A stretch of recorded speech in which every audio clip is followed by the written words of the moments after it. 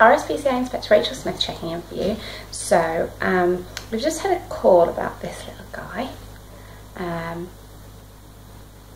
and as you can see he's a little budgie.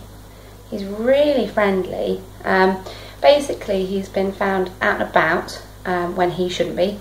Um, so the Member of Public has managed to catch him which isn't surprising because he's just so sweet. Um, and they've kept him overnight, and then um, when I've come back on duty today, I've been out and collected him.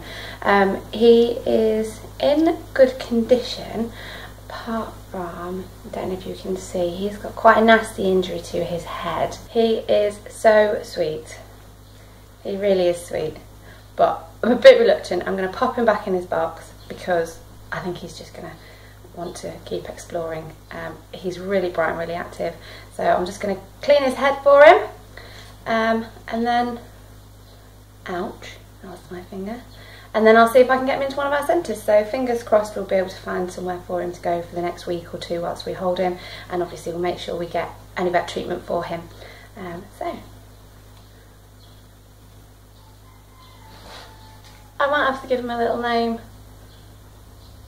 This is Norman, as he's now been named by the centre. Um, his head has healed completely, which is great, and he's just in this lovely, great big aviary with a friend. Yeah, they have so much enrichment in here, it's lovely, it's so nice to see him doing all his normal budgie things and playing and chirping. Yeah. These guys are now both up for rehoming, um, so please take a look on our website um, and have a look at the details of the animals that we've got available for rehoming. But um, he is now at one of our centres um, where he will stay for the next seven days. I've put some posters up and I've registered him on the website so hopefully we will be able to find his owner. But if not after the seven days he will be up for rehoming.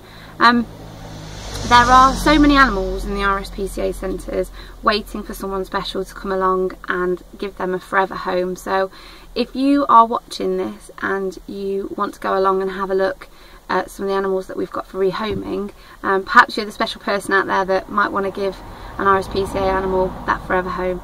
Um, feel free to have a look on the RSPCA websites um, and have a look to see what we've got. But um, every animal in the RSPCA has a story to tell, um, as does this little budgie.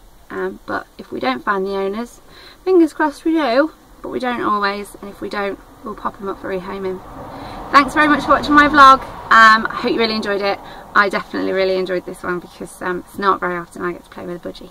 Uh, so don't forget to click on the like button and I will see you all next time. Bye.